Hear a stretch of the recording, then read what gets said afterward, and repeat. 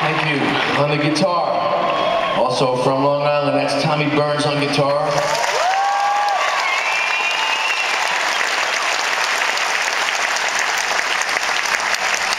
And that's also it for the special effects. The piano goes this way, the piano goes out. That's about it. Trying to keep the ticket price down.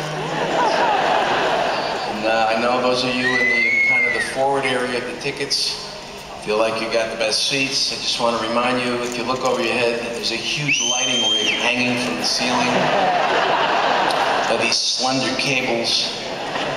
A couple of those things pop. anyway, enjoy the show.